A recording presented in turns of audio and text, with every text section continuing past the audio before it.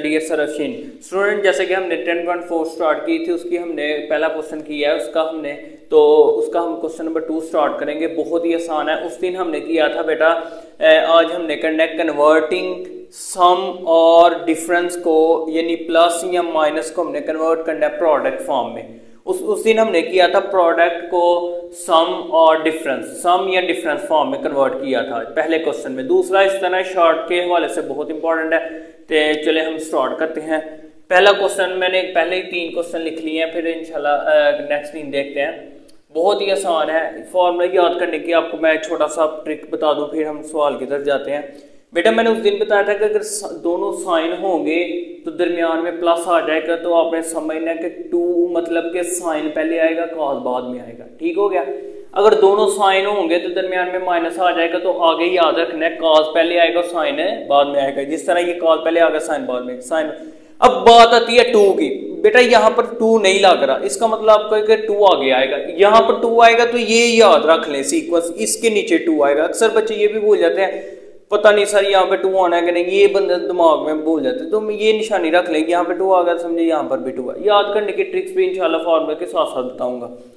अगर आ जाए दोनों काज के हो जाए, दरमियान में प्लस आ जाए तो आगे भी दोनों काज के ही होते हैं। अगर माइनस आ जाए दोनों साइन के हो तो काज के ही आगे होते हैं, लेकिन दरम्यान में माइनस आ जाता है। ये देखिए माइनस आ गया तो आगे दोनों के दोनों सॉरी यहाँ पर भी हमारे पास जब माइनस आ जाए तो दोनों के दोनों साइन के होते हैं तो दरम्यान में नेगेटिव आ जाता है। काज दोनों के दोनों काज तब होते हैं, अगर दोनों के दोनों काज के होते तो काज के ही होते हैं, आगे प्लस आ जाता है। ये आपने याद रखा है। बहुत ही आसान है।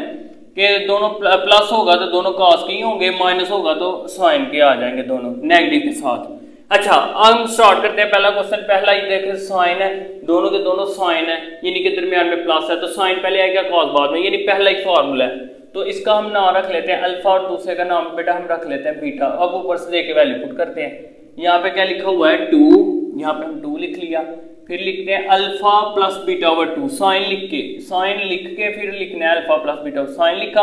अल्फ़ा क्या है? Five theta plus three theta alpha beta over two लिख लिया हमने। फिर बेटा हमने कॉज लिखना है। तो five theta alpha minus beta लिखना है तो ये हमने अल्फ़ा लिखा है माइनस बीटा ओवर टू आ गया। इसी तरह बेटा हमारे पास यहाँ पर क्या आ जाता है? टू साइन तो इसको किया तो एट थीटा ओवर टू। तो बेटा इसको किया तो कितना आ जाता है? फाइव में से तीन निकाले two theta over two basic देखे मैं डायरेक्ट भी करना चाहे कर सकता, लेकिन मैंने स्टेप किया था आपको मजीद अच्छे तरीके समझ टू वन जा टू टू फोर जा यहाँ पर आ गया फोर थीटा यानी कि साइन हमारे पास आ गया फोर थीटा साथ ही लिख लें, ज़्यादा गैप नहीं। साइन फोर थीटा और काज ये टू के साथ कैंसिल हो गया, सिर्फ़ थीटा आ गया। इसी तरह बेटा काज है तो दरमियान में नेगेटिव था काज पहले आ जाएगा। देखिए काज पहले यानी कि दूसरा फॉर्मूला लगेगा। तो टू कॉस एट इसका नाम समझिए ये अल्फ़ा है और ये क्या है बीटा पहले अल्फ़ा प्लस बीटा ये लिख लिया, हमने अल्फ़ा बीटा ओवर टू और फिर हमने आगे लिखना है बेटा sine alpha minus beta over two तो alpha eight theta minus beta over two two cos तो ये कितना एट और फोर कितना हो गया? ट्वेल्व थीटा ओवर टू आ गया। और यहाँ पर बेटा हमारे पास साइन एट में से फोर निकालें तो फोर थीटा ओवर टू आ गया। इसी तरह यहाँ पर आ गया टू, कटिंग कर ले, टू सिक्स थीटा आ जाएगा। और दूसरी तरफ़ हमारे पास साइन टू वन जा टू टू टू जा फोर साइन टू थीटा आ गया। ठीक है, पहले का आएगा, बाद में साइन का। अच्छा अब हम स्टार्ट करते हैं क्वेश्चन नंबर थ्री यानी क्वेश्चन नंबर टू का थ्री पार्ट बहुत ही आसान है। इसका नाम भी अल्फ़ा रखे, इसका नाम बीटा काज हो तो प्लस वाला। तरतीब से ही आ रहा है, ये वाला फॉर्मूला लग रहा है। तो टू दोनों के दोनों काज के ही होंगे। Two cos alpha plus beta over two मतलब six theta plus three theta over क्या आ रहा है हमारे पास बेटा टू और दूसरी तरफ़ बेटा हमारे पास क्या है? आगे भी कॉस का ही होगा? तो six theta minus three theta over two एक मिनट, जरा मैं क्वेश्चन भी इस तरह का जरा चेक अच्छा बेटा इसका क्वेश्चन हमारा ठीक है, यही लिखा हुआ है, क्योंकि फ्रैक्शन में आ रहा था तो मैंने कहा चले कंफर्म कर लो।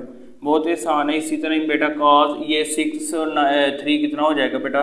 नाइन थीटा ओवर टू और हमारे पास बेटा आ गया यहाँ पर काज सिक्स में से थ्री निकालेंगे तो थ्री थीटा ओवर टू लिहाजा हमारे पास आंसर आ चुका है, चूँकि कटिंग नहीं होती तो हमारे पास फाइनली यही हमारे पास आंसर है। अब क्वेश्चन नंबर करते हैं इसका फोर पार्ट स्टार्ट करते हैं। अच्छा बेटा, हम क्वेश्चन नंबर फोर भी बहुत ही आसान है, बिल्कुल इसी तरह का। हम जल्दी जल्दी इसको भी करते हैं। इसका नाम रख दिया करें अल्फ़ा और इसका नाम हमने बीटा रख दिया। यहाँ पे टू जब क्वेश्चन आए तो देखा करें टू नहीं है तो लिहाजा आपको ये भी पता होना चाहिए टू वाली फॉर्म में कन्वर्ट करना है। दोनों काज के अंदर में नेगेटिव तो लिहाजा ये वाला फॉर्मूला लगेगा हमारे पास। तो minus two sine alpha plus beta over two alpha plus beta over two फिर साइन का ही होगा तो यहाँ पर आ जाएगा alpha minus beta over two alpha minus beta over two तो बेटा यहाँ पर हमारे पास आ गया टू साइन ये बन जाता है एट थीटा ओवर टू और फाइनली बेटा हमारे पास आगे क्या बन जाता है six theta over two seven में से एक निकाले, यहाँ पर जमा करना था। तो minus two sine two one ज़ा टू टू फोर ज़ा एट फोर थीटा आ गया और यहाँ पर साइन बेटा हमारे पास आ गया थ्री थीटा ये भी बहुत आसान सा क्वेश्चन है, ये भी करते हैं। क्वेश्चन नंबर फाइव देखें इसका। क्वेश्चन नंबर टू का फाइव पार्ट बहुत ही आसान है, दोनों काज के अंदर में प्लस है तो लिहाजा दोनों काज के ही होंगे। तो बहुत आसान है two cos twelve plus forty eight degree आ गया।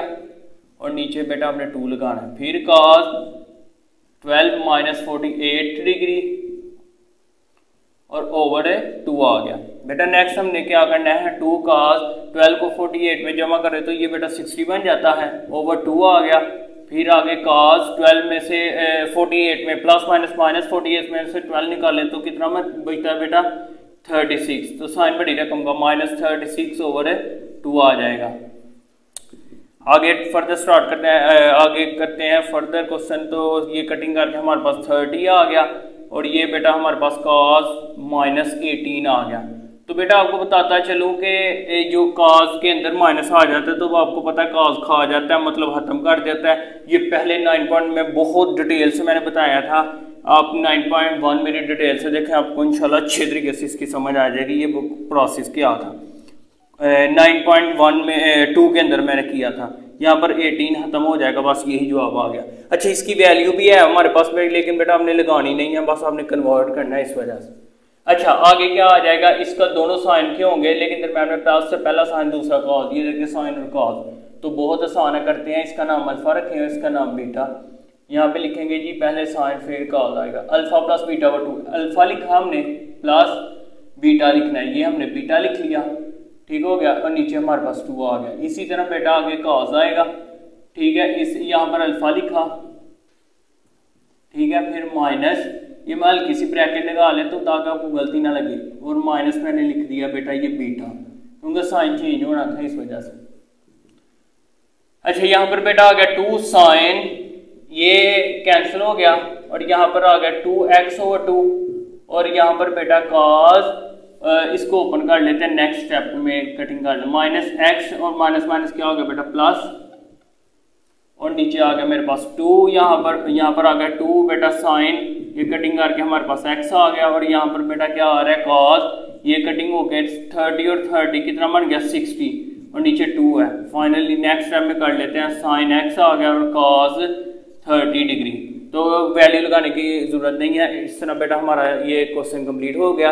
इंशाल्लाह आप करते हैं क्वेश्चन नंबर थ्री अगर कहीं से भी आपको छोटी सी मिस्टेक दिखाई देती है कहीं से नहीं समझ आती तो मुझे कमेंट्स में ज़रूर बताएँ। इसको दोस्तों के साथ शेयर करें ताकि वो भी इससे फ़ायदा हासिल कर सकें। और बेटा मेरे चैनल को लाइक सब्सक्राइब शेयर करना मत भूलें। दो में याद रखें। अल्लाह हाफिज़।